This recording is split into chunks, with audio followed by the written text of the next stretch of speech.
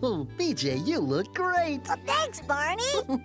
well, I'm off to deliver the mail. See you later. Okay, BJ, bye-bye. Have fun. uh, where did Robert go? I don't know. He was over there a minute ago. Hmm. Look, everybody. I found the perfect outfit for milking cows, driving a tractor, planting seeds. You're a farmer. right. Robert, would you like to take a look in the mirror? You might be surprised at what you see. Okay, Barney. You look like a real farmer, Robert. Oh, you sure do. Really? oh, boy, oh,